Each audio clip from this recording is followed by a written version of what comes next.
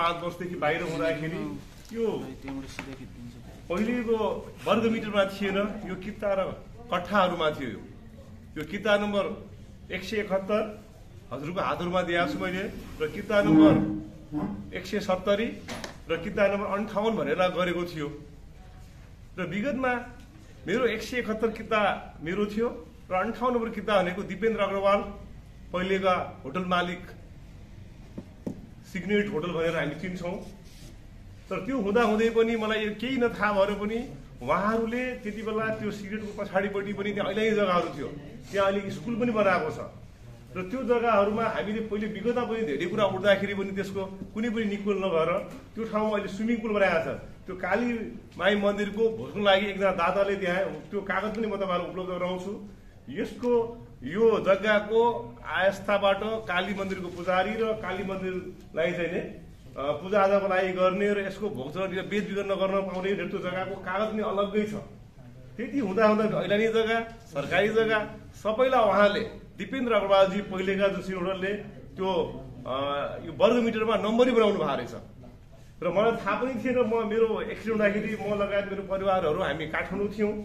र त्यसपछि पनि दिपेन्द्र अग्रवालले आफैले मलाई मुद्दा आफै हाल्नु भएको छ खिचोला मुद्दा भनेर। अनि त्यो भइसक्दा पनि कस्तो छ भने म आएँ थाहा पाएर मेरो त्यो पहाडीपट्टिको जग्गामा त्यो सबै त्यहाँ नापीको नक्साहरू नगरपालिकाले त्यो बिल्डिङको नक्साहरू प्रमाणित गरिदिएको छ। मैले त्यो देवालयको आज यो सत्र वर्ष अगाडिबाट गरेको छु दिपेन्द्रबाट आउनुभन्दा पहिलेदेखि त्यहाँ म बसिरहेको छु। र मैले पनि त्यो किनेको सबै कागजहरू छ। तर अचानक त्यो बिचमा जब दिपेन्द्रले मुद्दा हाल्नुभयो र हामी त्यसको प्रत्युत्तर दियौँ र दिइसकेपछि पनि त्यो मुद्दा चल्दै थियो र यो मुद्दा चल्दा चल्दै पनि मुद्दा समेत भनेर अहिले नयाँ होटल डायमन्ड प्यालेसका मालिक सुरेन्द्र बहादुर सिंह भन्ने जसलाई हामी क्यासिनोको डन भन्छौँ अहिलेलाई। नेपालगञ्जमा विगतमा सबभन्दा पहिले यहाँ खोल्नुभयो। सुरेन्द्र बहादुर सिंहले होटल डायमन्ड प्यालेस भनेर लिनु भएको रहेछ। त्यो पनि थाहा थिएन।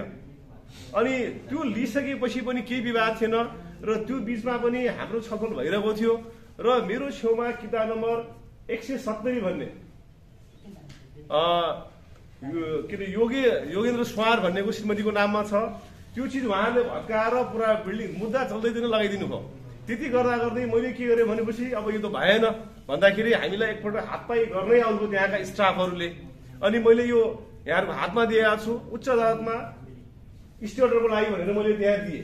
दिइसकेपछि पनि उहाँहरूले स्टे अर्डरको पनि अवहेलना गरेर एक्कासी राति यसमा मेरो नगरपालिका मेयर साहबलाई पनि कुरा भयो। मेयर साहबले पनि त्यसमा फोन गर्नुभयो। हामी सोमबार मिटिङमा बस्छौँ। त्यहाँ के पनि नगर्नु भन्दाखेरि पनि यो गुन्डै पारमा गएर उहाँले स्टे अर्डरको अवहेलना गर्दै मेरो पछाडिको संरचनालाई नम्बर प्लेट नभएको मसँग त्यो फोटोहरू पनि छ नम्बर प्लेट नभएको डोजर ल्याएर सब भत्काइदिनु भयो अनि त्यसपछि त्यो गरिसकेपछि आज फेरि अर्को निर्णय मैले यहाँलाई दिएको छु। अदालतको अवहेलना भनेर त्यो यहाँहरूको हातमा होला। त्यो पनि सात दिनमा भित्र उपस्थित हुने भनेर यो अदालतको अवहेलना भनेर दिएको छ। र त्यो छेउमा पनि एउटा आतङ्क जस्तो सिर्जना भइसकेको छ। त्यहाँ नक्सै पास नभएर घर बनाइएको छ। सात तलेको स्टिल फ्रेममा स्ट्रक्चर बनाइएको छ। जुवा घर बनाइएको छ त्यहाँ। यति हुँदाहुँदै पनि अब यो पैसाको बलमा जे पनि गर्न सकिन्छ गुन्डाई शैलीमा जे पनि गर्न सकिन्छ भन्ने किसिमको एउटा त्यो सोच भएर त्यहाँको ऐलानी जग्गा। त्यहाँका छ नक्सा पास त्यसको पछाडि एउटा हाम्रो ठुलो तलाउ थियो एउटा। यहाँहरू सबैलाई थाहा होला बालदा तलाउ भन्थ्यौँ। त्यो जग्गा पनि मिचिएको भन्ने कुरा छ। र अहिलेसम्ममा अब नगरपालिकाले पनि कुनै किसिमले त्यहाँ गरिरहेको छ हाम्रो महानगरपालिकाले यो कुराहरू नक्सा पास गरेर त्यो सात कलेजको घर यो स्टिल फ्रेममा कसरी बनाउनु दिएको छ यो कुराहरूलाई पनि यहाँले गएर हामी पीडितलाई यहाँले सहयोग गर्नु पर्यो। र वास्तवमा यो कानुन अब कसले मान्ने त? उच्च अदालतको निषेधाज्ञालाई पनि नमानेर त्यो कागज दिँदा त्यसलाई पिट्ने जस्तो गरेर यो गुन्डाई पारामा आएर त्यो देवालै पुरा भत्काइदिने भन्दाखेरि अदालतको अवहेलना समेत गर्दाखेरि आज त्यो पनि मैले यहाँहरूको हातमा दिएको छु अदालतको अवहेलना भनेर त्यो मुद्दा पनि मैले आएर त्यसको पनि पेसी मेरो हात तपाईँहरूको हातमा दिएको छु मेरो लाल पूर्जा र मेरो नक्सा र यो वास्तवमा तपाईँहरूको अगाडि भन्दा मेरो पुरानो यो यो नक्सा पनि यहाँलाई म देखाउँछु। यसमा यो मेरो घर यो जग्गाहरूको किता काटे नयाँ कितै बनाउनु भएको रहेछ यो। योभन्दा पहिले पनि एकपल्ट कान्तिपुरले गर्दाखेरि पनि निकालेको थियो। त्यहाँ ढड्डै छैन दुई हजार चौध सालदेखिको त्यो भएको ढड्डै त्यहाँ भेटिएन नापीमा भन्दाखेरि यो त भूमि गृह भनौँ न भूमाफियाहरूको सञ्जालको किसिमले गरेर यसरी दुःख दिएका छन् त्यहाँ। सबैलाई आतङ्कित गरेर बोल्छ केही बोल्यो भने तँलाई पिट्छु भएन भने त्यो डोजरले भत्काएर पनि दुःख दिने भन्दाखेरि यसको न्याय अब मैले कहाँबाट पाउने भनेर साथीहरूलाई यसको छानबिन होस्। यो सात तले घर लगायत जुन यो जुवा घरहरू पनि त्यो नियमसँग छन् कि छैनन् त्यहाँका ऐलानी जग्गालाई नम्बरी कसरी भइरहेको छन् भन्दाखेरि यसको यहाँहरूले छानबिन गराइदियोस् भने मेरो अनुरोध यहाँहरूलाई।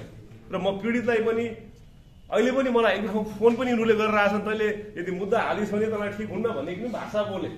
र हामीले वास्तवमा कानुनको सम्मान गर्ने भनेर अब त्यस्तो गर्दा गर्दै पनि निषेधाज्ञा हुँदा हुँदै पनि उनीहरूले भएको संरचना नै भड्काउँछ नक्सा पासहरूलाई पनि भड्काउँछ भने यो मैले यहाँहरू समक्ष यो कुरा राख्नलाई आज यहाँहरूलाई मैले अनुरोध गरेको थिएँ। मेरो कुराहरूलाई यहाँले मिडियामा कसरी गर्ने के गर्ने गरेर आफूले गराइदिन म हार्दिक अनुरोध गर्दछु यहाँहरूलाई। दुई कट्ठा साढे चौध जग्गा मेरो र आज पनि उसको उसमा के छ भनेपछि जम्मा उसको जग्गा चौध कट्ठा देखिरहेछ। तर उसले लालपुरमा ल्याएर अठार कट्ठा बनाइसकेको छ। दुई कट्ठा साढे चौध हजुर दुई कट्ठा साढे चौध हजुर। नै जग्गा छ घर बिल्डिङ बनेको छ। तर उसले के गर्यो भने मेरो भएको संरचनाको अन्तमा पनि बनाएको थिएँ पाँच धुर जग्गा। त्यो मुद्दा पनि उसले नै हालेको मलाई। तर कस्तो किसिमको उसले नै मुद्दा हाल्ने उसले नै भत्काउने उसले नै आतङ्क सिर्जना गरेर सबैतिर त्यस्तो गरेर उनीहरूले मैले गरेको मुद्दा पनि उसले नै हाल्ने। स्टेटहरू पनि आइसकेपछि पनि भत्काउने पनि उसले नि। र उसले नि धम्काउने। भन्दाखेरि यो बाहिर जाओस् भन्ने त्यस्तो आतङ्क सिर्जना गरिरहनु भएको छ उहाँहरूले अहिले कति पुऱ्यायो भन्नुभयो तपाईँ अठार कट्ठा हजुर। चौध कट्ठाबाट मेरो जग्गा त जम्मा मिचेको भनेपछि अहिले पाँच दुर जग्गा। उहाँले मेरो मिचिएको भन्दाखेरि मेरो सृजना त्यहाँ बिल्डिङ छ नक्सा पास छ तर उहाँले आज हुँदा हुँदै पनि उहाँले त कब्जा गर्नुभयो। एउटा मेरो छेउको योगेन्द्र स्वारको जग्गालाई कब्जा गरिसक्नु भयो उहाँले देवालय उठाइसक्नु भयो अनि पालो पालो उहाँको गरेपछि मेरोमा छिराएर मेरो संरचना भत्काएर उठाउन खोज्दाखेरि मैले यो अदालतको चाहिँ हजुरको हातमा दिएको छु। निषेधाज्ञा आउँदा आउँदा पनि यसलाई च्यातेर फालिदिनु उहाँहरूले। मसँग हजुरको बिल्डिङ पनि देखो बनाउँदाखेरि डोजर यो नम्बरै नभएको जस्तो यो मेरो अगाडिको यो घर हो। मेरो पछाडिको जुन जग्गामा पनि आएर आतङ्क सिर्जना गर्नु भएको छ।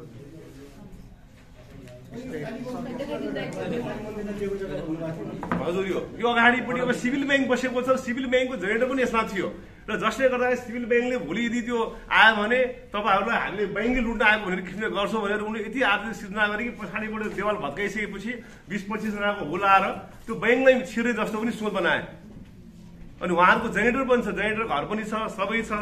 सबभन्दा ठुलो विडम्बना कि? निषेधाज्ञालाई पनि उहाँले मान्नु नहुनेपछि पनि अब यो न्याय कहाँ पाउने हो त भन्ने मेरो उसमा। सरकारी जग्गा कति मिच्यो सरकारी जग्गा उहाँले एउटा चार कट्ठा नदी मिचिएको छ। सभा चार कट्ठा नदी। काली मन्दिर पनि त? हजुर त्यहाँ हेर्दै कालीमाई मन्दिर पनि जग्गा त्यहाँ देखिन्छ। त्यो कागज पनि म यहाँलाई केही दिन म उपलब्ध गराउँछु। त्यहाँ योभन्दा पहिले पनि धेरै घटनाहरू भइसकेको छ। के तलाब के भन्नुभयो? हजुर किता यो पहिले सुरुमा हजुरको कट्ठामा थियो वर्ग मिटरमा थिएन। कालीमाई मन्दिरको एउटा उसले दिएको त्यसमा छ।